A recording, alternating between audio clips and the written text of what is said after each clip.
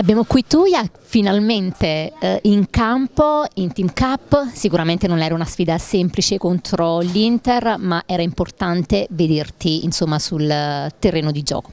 Sì, sicuramente è stato, stato bello riassaporare il campo dopo tanti mesi fuori e la partita sapevamo che era una partita complicata, ce l'abbiamo messa tutta, credo che in alcune circostanze abbiamo anche messo in difficoltà l'Inter e per quanto mi riguarda volevo ringraziare tutto lo staff e i miei compagni di squadra che in questi, in questi mesi mi hanno sempre dimostrato la loro vicinanza e per me è importante, è stato anche più facile poi tornare in campo e trovare subito affiatamento con loro.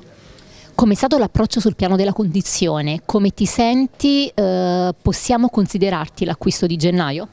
No, adesso mi sento bene, è una sensazione bella tornare a correre senza sentire dei dolori, quindi sicuramente eh, del, per la seconda parte del campionato sarò a disposizione del mister, quindi penso di poter dire che sarò a disposizione da qui finché non finirà la stagione. Sicuramente l'Inter era già un traguardo, San Siro, arrivarci indipendentemente dal risultato, la sensazione di giocare in uno stadio vuoto, un vero peccato soprattutto per i tifosi del, del Benevento, molti avevano già acquistato il biglietto, insomma era un po' un sogno tornare dopo lo scorso anno a San Siro. Sì, sì, sicuramente so che una, era una partita storica questa qua perché mai il Benevento era arrivato eh, così tanto avanti in Team Cup, dispiace per, eh, per, le, per le, porte chiuse, sicuramente con, con il pubblico sarebbe stata una partita diversa diversa, più divertente.